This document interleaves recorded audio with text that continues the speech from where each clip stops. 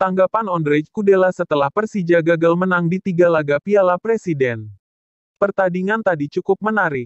Skuad Persija sudah semakin kompak walaupun ada sedikit celah di lini belakang yang harus diperbaiki. Ondrej Kudela juga tidak mempermasalahkan kekalahan hari ini. Ini hanya pramusim seperti di Eropa-Eropa. Di waktu pramusim klub-klub besar kebanyakan memainkan pemain mudanya dan juga untuk meramu strategi yang bagus guna di liga nantinya. Jadi wajar saja pramusim ada menang ada kalah juga. Lebih lanjut kata Ondrej Kudela pramusim hanya digunakan sebagai coba-coba pemain. Untuk pertandingan tadi selamat buat Borneo atas kemenangannya. Dan saya sudah tidak sabar lagi menantikan liga di musim ini. Saya tunggu di liga nanti. Ucap Ondrej Kudela.